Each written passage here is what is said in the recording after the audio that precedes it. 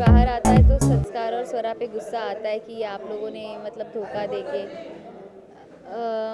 Mostly actually संस्कार और स्वरा का कुछ कनेक्शन ही नहीं है मेरे रिएक्शन में आफ्टर मेरा जब सच बाहर आ जाता है रिएक्शन सिर्फ़ लक्ष्य की तरफ़ है क्योंकि लक्ष्य के सामने सच बाहर आ गया है और अ, अ, और मैं बस जस्टिफाई करने की कोशिश कर रही हूँ कि ये मैंने सब सिर्फ़ आपको पाने के लिए मतलब लक्ष्य को पाने के लिए किया है, उनके प्यार के लिए किया है, पर अब सब के रिएक्शंस ये है कि प्यार पाने के लिए इतना गलत करने की ज़रूरत नहीं होती है। तो अब बस यही है। सब कुछ संस्कार, लक्ष्य और स्वरा की मिली भगत। तो रागिनी का सच सबके सामने आ गया है, मेरा भांडा फूट गया है। और ये सब कुछ संस्कार लक्ष्य और स्वरा की मिली भगत की वजह से हुआ था।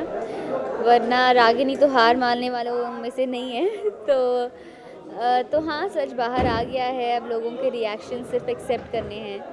क्योंकि जिसके लिए ये सब किया है वही अब है नहीं साथ में। तो शायद अब रागिनी सुधरे कुछ अच्छा करे। देखते हैं। तो क्या अब अब दुख हो रहा है? मतलब इतनी मेहनत की जिसको पाने के लिए। वही अब नहीं है। अपनी बहन से नफरत हो गई अपने घर वालों अपने घर वालों से नफरत मोल ली, बहन से, बहन को मारने तक की कोशिश कर ली। जिस इंसान के लिए ये सब किया, अब वही मुझसे नफरत कर रहा है। तो अब कुछ एम ही नहीं है लाइफ में। और अब इनफैक्ट मुझे ये भी मतलब मैं स्वरा को ये भी बोलती हूँ कि मतलब तुमने सही किया मेरे साथ।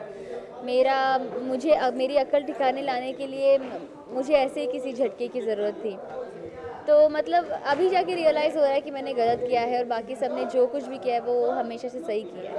ऑफकोर्स फिर नहीं, रागिनी को तो खुद ऐसे लगता ही नहीं कि वो माफ़ी मांगने की भी लायक है। मतलब ऐसी हरकतें की है कि माफ़ी भी मांगी नहीं जा सकती। मतलब उसे अब खुद से घिन आने लगी है।